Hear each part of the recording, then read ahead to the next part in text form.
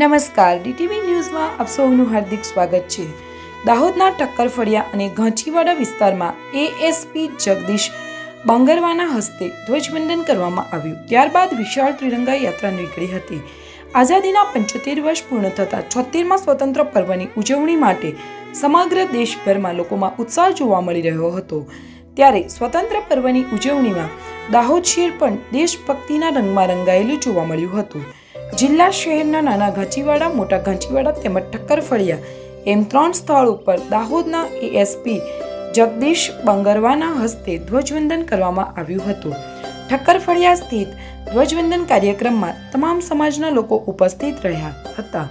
તો વોહરા સમાજના બેન્ડ દ્વારા દેશભક્તિની સુરાવલી રેલાવતા આકર્ષણ જમાવ્યું હતું. ગાંચીવાડાથી ધ્વજવંદન બાદ મુસ્લિમ સમાજની તિરંગા યાત્રા નીકળી ઠક્કર ફળિયા પહોંચી હતી.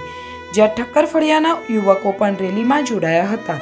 જે તિરંગા યાત્રા શહેરના વિવિધ વિસ્તારોમાં ફરી ગાંચીવાડામાં યાત્રાનું સમાપન કરવામાં આવ્યું હતું.